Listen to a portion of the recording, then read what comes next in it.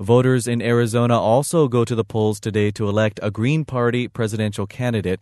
About 5,000 people in Arizona are registered as Greens, and this is the first time the state party has qualified for a presidential primary election.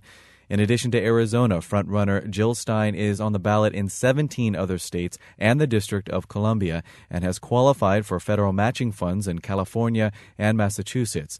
Stein, a physician, is increasing her lead after winning last week's online primary in Illinois. On the Thom Hartmann show last week, Stein explained why the country needs a Green New Deal. This specifically would provide the funding to ensure that everyone is back to work. It's estimated to, to cost about what the stimulus package cost the first time around uh, in 2008, uh, around $700 billion thereabouts. But the impact would not be you know, 2 million jobs or 3 million jobs, but rather 25 million jobs.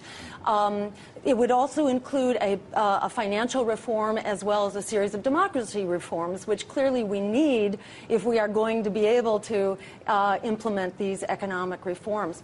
Stein faces five other candidates on the ballot in Arizona, including Kent Mesplay, who's also running a national campaign.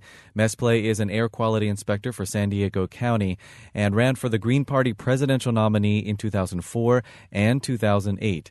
Mesplay, who grew up in Papua New Guinea and is part Blackfoot Indian, says he is running to counter the conservative attacks on immigrants, Mexicans, and Native peoples.